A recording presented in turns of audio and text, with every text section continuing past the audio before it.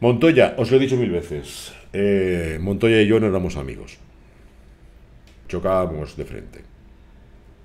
Por mil cosas que, que veía de él. Y se las decía a la cara. Por ejemplo, no firmarle el autógrafo a un niño en Malasia. Imaginaros Malasia. Circuito de Sepang, 3.000 millones de grados. eh, sudando que no podías dar ni un paso.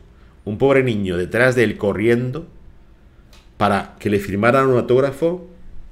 Y Juan Pablo lo mira bajo un calor que es- era 50 veces más intenso que el que yo tengo ahora aquí en el directo.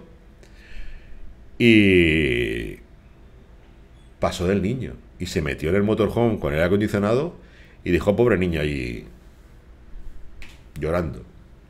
Y se lo dije. Le dije, Juan Pablo, me pareces un borde de narices. Y miró y dijo, y pasó. Digamos que te dé.